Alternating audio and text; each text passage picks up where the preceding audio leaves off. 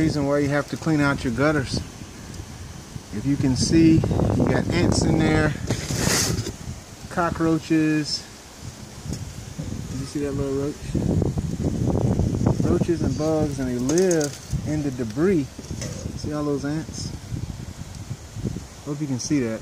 They live in the debris in your gutters. So you gotta clean this out or you're keeping home for bugs. So you'll keep spraying and you'll wonder why you still have ants and roaches. Well, you're making a home for them right here in your gutters. If you don't know what to do, need help, call Florida Pro.